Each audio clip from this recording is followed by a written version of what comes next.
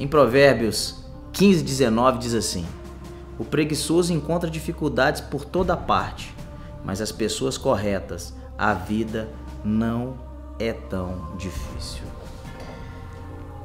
É, eu tenho caminhado dentro da igreja muito tempo. E uma coisa interessante aconteceu, um fato muito interessante comigo dentro da igreja. Eu tinha terminado um culto e uma menina colocou um envelope no meu bolso. Falou, pastor, chegar em casa, o senhor me liga, o senhor ora por mim. E, enfim, acabou que passou o culto, eu orei para várias pessoas e fui embora para casa. Chegando em casa, minha esposa sempre tem a, não vamos dizer, tem, tem o costume, né, de olhar minhas roupas que eu sempre deixo sempre papel, dinheiro. E minha esposa, na hora que tirou esse envelope, abriu e falou: ah, Deus, tem um envelope aqui no seu bolso. E era uma inscrição de um concurso público. Falei: rapaz, foi uma menina do culto que deixou para mim. Eu tinha o telefone dela e liguei para ela: tudo bem, você deixou um envelope errado aqui no meu bolso. Foi uma inscrição de um concurso público que você vai fazer. E ela virou para mim e falou assim: Oi, pastor, é isso mesmo. Eu queria muito que você orasse por mim, porque eu quero passar e vai dar tudo certo. Eu falei, vamos orar. E eu peguei pelo telefone e comecei a orar para ela. Pai, se ela estudou, que ela possa passar. Se ela se dedicou num cursinho, se ela leu bastante, se ela procurou estudar todas as matérias, que o Senhor possa abençoar e clarear tudo na cabeça dela, para que ela possa fazer essa prova com excelência. E do outro lado do telefone, ela começou a chorar. Eu não entendi por que chorava muito. Eu falei assim, é pastor, não estudei, mas eu creio que Deus vai me dar a vitória. E eu tive que ser muito sério com ela nesse, nesse momento.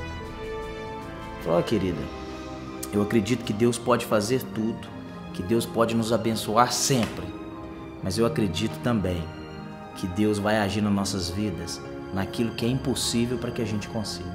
Mas o que é possível, que é você estudar, que é você ir para um cursinho, que é você se dedicar. Isso é possível para você fazer. Agora, o impossível, de na hora que você for fazer a prova, Deus te abençoar, Deus clarear a sua mente, Deus te direcionar, Deus te iluminar para que você lembre tudo que você estudou, eu acredito demais nisso. Aonde eu quero chegar com essa mensagem?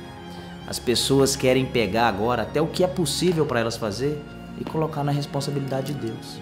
As pessoas não querem correr atrás, correr na frente, correr do lado e acreditar nos teus sonhos. E muitas das vezes a gente fica colocando coisas na mão de Deus que são possíveis para que a gente faça. A gente quer tudo de mão beijada. A gente quer ir para a igreja, orar e esperar cair do céu. Eu acredito que todo dia as bênçãos do Senhor caem do céu sobre as nossas vidas. Mas se a gente não levantar, arregaçar as mangas, correr atrás dos nossos sonhos, meu irmão, nada vai acontecer na sua vida.